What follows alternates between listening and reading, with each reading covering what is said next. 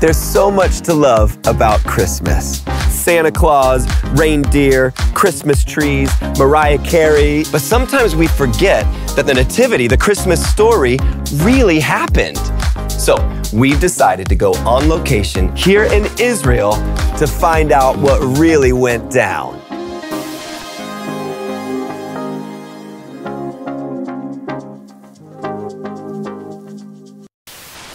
Today, we are on location in the Judean desert. But first, here's our account being read from the book of Luke.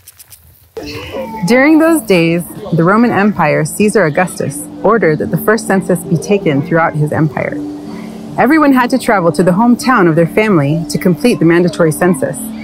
So Joseph and his wife Mary left Nazareth, a village in Galilee, and journeyed to their hometown in Judea, to the village of Bethlehem King David's ancient home. They were required to register there since they were both direct descendants of David. Mary was pregnant and nearly ready to give birth. Okay, hang on a second. I know that sounds pretty simple. Travel back to your ancient home, complete a census, have a baby, and you're done. But let's not forget, they had to travel through 80 miles of this. Even if they went 10 miles every single day, that's still eight whole days, and Mary was heavily pregnant. Now, I know what you're thinking. Chip, I've seen the pictures from the Nativity. My kids did the play. Mary got to ride on a donkey. Well, hate to be the one to break it to you, but the Bible doesn't actually talk about a donkey. Instead, what we know is that there was a lot of uphill and downhill through a scrubby desert. Most of the time, it was freezing cold at night. And don't forget, this was the wet season, and they're carrying supplies. Man, it's pretty harsh, right? You know what else? Historical records have been found that show that there were warnings of wild boars, bears, and lions.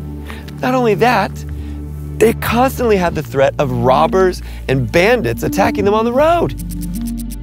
And finally, arriving at Bethlehem, Mary and Joseph must have been ready to drop. But, spoiler alert, they're going to find that there's no room for them. They can't settle just yet. Anyway, that's enough for me. Let's scrub back and hear the rest of the passage. They were required to register there since they were both direct descendants of David. Mary was pregnant and nearly ready to give birth.